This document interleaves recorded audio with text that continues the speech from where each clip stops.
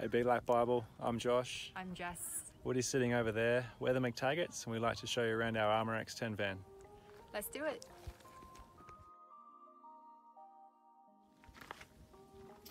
So here at the front, uh, one of the things I really like is a massive toolbox. So we've got all our essentials in there. There's a big nine kilo gas bottle, which we never seem to run out. Um, just spares over there for the car and the caravan, oil, nuts and bolts, all those sort of things. And we've got the 200 watt uh, fold out solar blanket if we need to extend for either the car to charge up or we have 400 watts on the roof as well. But if that's not enough, we can just plug it in, boost it. We've got just a generic annex here, which we can put around the 2.5 by 2.5 awning. Um, just if the weather's bad, we can enclose that area, make it a bit more private. Uh, we generally only use this if we're staying in one spot for a few days and it's not nice and sunny outside.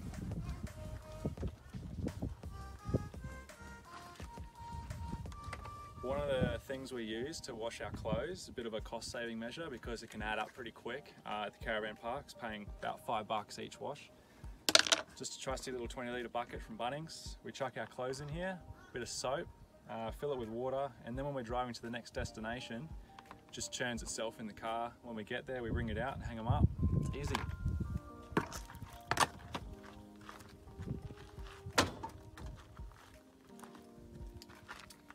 So on either side of the toolbox, we've got um, jerry can holders. These were originally on the back kitchen door. There was a bit too much weight back there, so we decided to move them up here, uh, balance out the caravan a bit better. We've got 20 litres of spare water on this side, and we've got 20 litres of diesel on the other.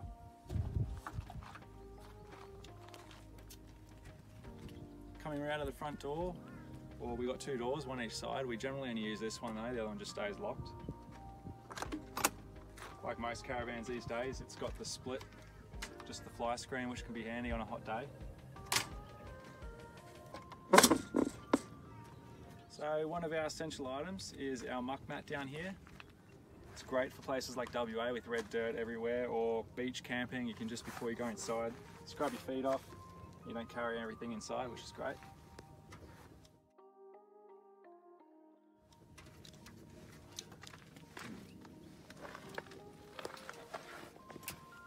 So in here, um, it normally is, I guess, a dinette with a table here and there's chairs around each side with cushions.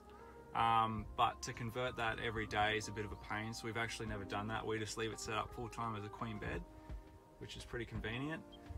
Um, a few things we added, just a little hook on this side with this pouch. We keep all our torches, phone, keys, and this mirror that Jas hassled me for weeks. So she comes in here after every shower and does something in front of the mirror, I don't know. But she's happy with that. We used to keep uh, our clothes on either side of here under the chairs, um, but to open the bed and access those was a bit annoying, so we ended up just migrating our clothes out. I keep mine here in this cupboard, just in a box. That's pretty much all my stuff. Um, any of our winter clothes, when it's not that cold, we'll chuck them in this vacuum bag and normally put them underneath out of the way. One thing that surprised us when we bought this van was the first few nights camping in Queensland, we were eaten alive by mosquitoes inside and moths kept coming in. We didn't know how. We figured out there was a gap up here which went out to the kitchen area, so they were all just flying in. Um, since we'd already started our trip, I just did a little quick easy fix, went to Bunnings and bought some mosquito net and we just taped it around up in here. It's been like that for three months now and we haven't had a bug in here since, which is good.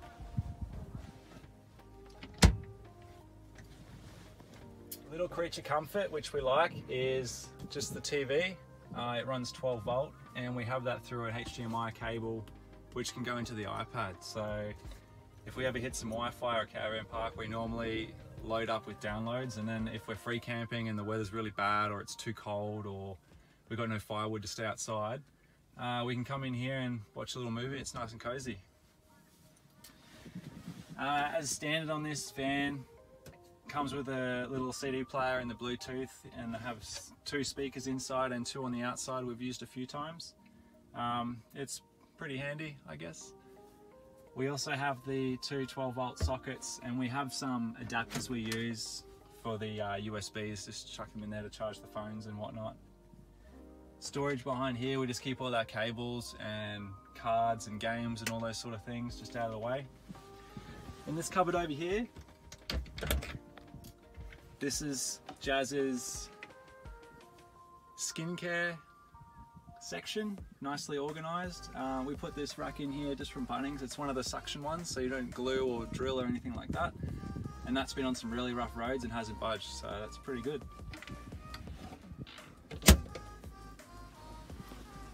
Also underneath the chairs in here, uh, this side we have the AC-DC 240 volt charger and the solar charger from the panels on the roof to charge the batteries. And we have the 2000 watt inverter in here as well. And then on this side at the front where we sleep with our heads, uh, we have three 120 amp hour AGM deep cycle batteries.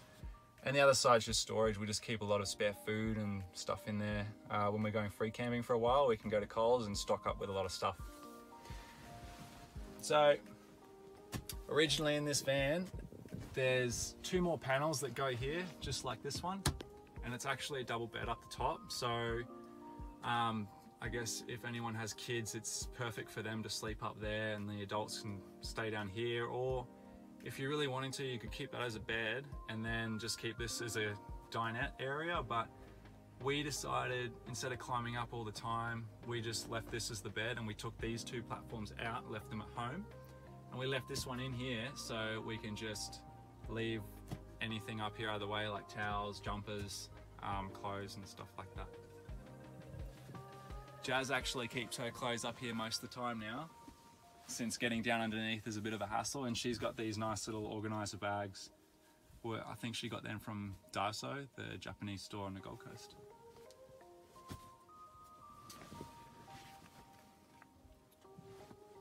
So up the front, we've just got a nice little window here, which is the privacy shade and screen.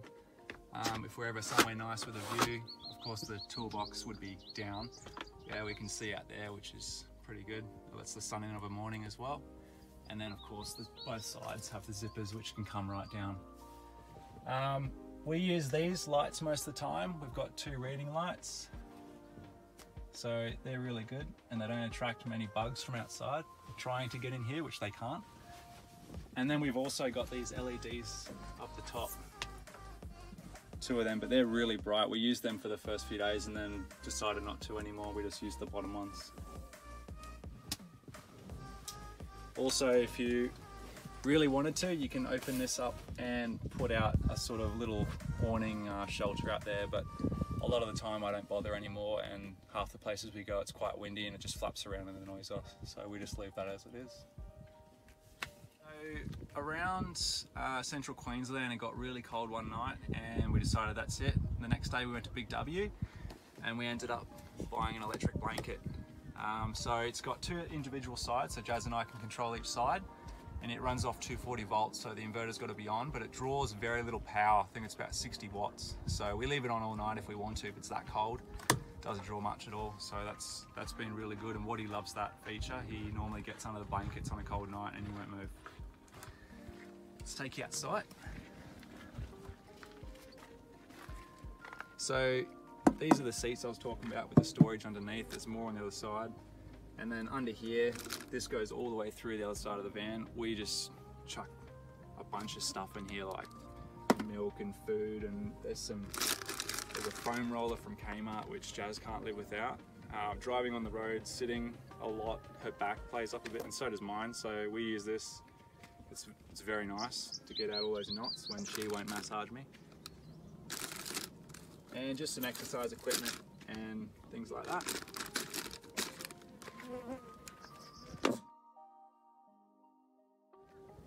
So when we are at a caravan park, we've got power. There's the um, 15 amp 240 volt inlet. This switch came on the Armor X10. I don't know what it is. Someone added it. Doesn't work, but we leave it there because it looks cool. Normally put our toiletries here on the side, just easy to access. And this um, another thing from Daiso. It's just an organizer, so it keeps it all where we know it is. We've got the standard like you can get from Kings or any of those places, BCF, just the awning. Came on the van 2.5 by 2.5. we only take that out normally if it's really hot and sunny um, or we stay in the same place for a, a few days at a time. It only takes a few minutes to set up.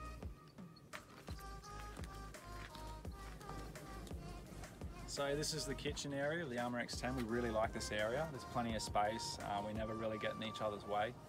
So basically the back door just opens up on gas struts, nice and easy. The sink comes out along with the two burner gas stove and then just a workplace bench here. This um, isn't plugged in all the time. We have to do it every time we stop or need to use it. So it's just a water inlet there and then gas bayonet on the other side. It was a bit of a hassle at the start doing it all the time, but you get used to it and it's not that bad. It only takes 10 seconds. We've got a uh, freezer here, the Dometic freezer, because uh, we've got the fridge in the car. So this has been a bit of a lifesaver. If we ever go somewhere, we can stock up on um, important things like ice cream. So keep me sane, little treats. So that's really good. Two things we can't live without, of course, is a SodaStream use this every day, along with every, along with every morning and sometimes in the afternoon, coffee. And this runs off the uh, inverter inside, so very handy to have that. A couple things we added in here. This railing, same thing from the one inside from Bunnings, just a suction, no bolts or drilling or anything, and it's really tough. This little rack I think we got from Daiso as well, so that just keeps our pots organised. Uh, when we first got the van, there was a gas oven in here, but it took up pretty much the whole space. We didn't think we'd use it, so we just ripped it out, and now we have a lot more space. You know, we've got our fruits and veggies and stuff here in the corner. It's good. And then we just got a bunch of those Kmart containers um, just to organise everything up top. So we've got lots of storage up there. There's loads of food. It looks really messy and unorganised, but we know where everything is. So corner here, we've got the main switchboard. So it controls um, basically things like lights, water pumps, the 12 volt sockets. Um, you've got the voltage basic readout here and a uh, water meter readout. Unfortunately, this is the only one we have on the van. It would be really nice to have a couple switches by the door or inside or something just to control lights or 12 volt sockets. Um, when we first started out, it was a bit of a pain for me because I kept forgetting to turn the right switches on and I'd close the kitchen and go inside and then I'd have to come back out and do it all again. I've gotten used to it now, but it would be great to have a couple more switches. That's it. So around the ensuite. So this just folds out from the side, quick and easy. Zip it open. And then our trusty little Portaloo, which we were a little apprehensive to buy. We weren't sure how it would go, but it's been really, really good. Um, no smell, it's easy to use. I always dump it, but it's pretty quick and simple. So yeah, we're very happy we got that. Just a little comfort for us both. And then in here, just open this up and we've got the hot water gas system which can get really hot. It's great. We've had some um, cold nights where we've had a shower and we just chuck it on the winter setting and the water comes out steaming. So it's very nice.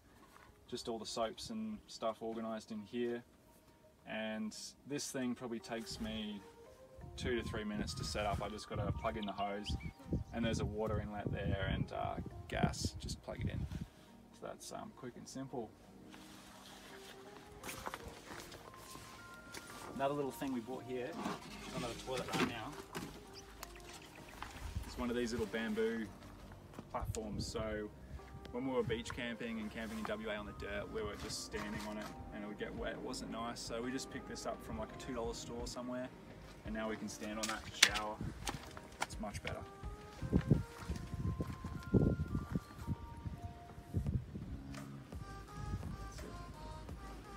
So that's the ensuite. There's the other door as you can see with the ladder up. We barely open this one. And I think that's it.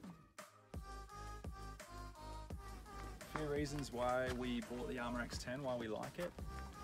It's, um, it's got quite a big payload, so I think it tears at about a ton and it's registered for two ton. So we've got about a ton there to work with. Um, I think fully loaded as we have it now, it's about a ton and a half. Um, very, very easy to tow behind the Prado. Uh, you barely know it's there, and anywhere the Prado goes, this will go, no problem. Um, we love the water storage on this, so we've got just for the two of us 120 litre tank underneath. Uh, and we've also got that 20 litres Jerry spare on the side of the toolbox. And then in the car, I'll show you a bit later, we've got 40 litres um, in the footwell in the back. So we've got loads of water, we've never come close to running out. Quick setup. We love that this sets up nice and easy, so we can just pull up two latches, one each side, roof pops up, and we can get in and sleep if we want. If we want to shower, you know, all that probably takes us no more than 10 minutes easy. To get the kitchen out, hooked up, and the shower. So, really like that. This is actually um, an alloy shell insulated as well, so it does help with the really, really cold nights or really hot days. That's a nice feature, and we do like that we have the doors that we can lock if we're ever in a dodgy place feeling unsafe. We can lock the doors and go hide.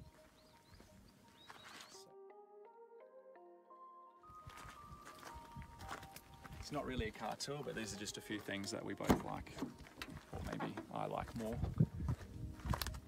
Not sure if you can see it here. There's just a 40 litre tank on the back floor, goes over the footwell, and we've got a tap each side. So that's mainly our drinking water. When we fill that up with good drinking water, we can easily last two, three, sometimes four weeks at a time, depending on how hot it is and how much we drink. In the front, a few things that I look at all the time while I'm driving is the uh, iCheck tire pressure monitoring system gauge. So these have sensors on all the wheels, including the caravan, so I can monitor the temps and pressures here, uh, which is very handy so you know you don't have a flat or you have the right pressure. So roads like the Gibb River, really rough corrugation, um, it's good to have that there. And then with the Prado, um, and especially towing, you can get quite hot transmission at times. So I have the uh, ScanGauge here, which just plugs in under the dash. Excuse me. So it just plugs in under the dash and I can have all the readouts of the transmission oil, um, the coolant water temp and the torque converter. So make sure I'm not gonna get anything too hot and bust any seals or to cause damage, which is just uh, good peace of mind. So I think that's it, eh?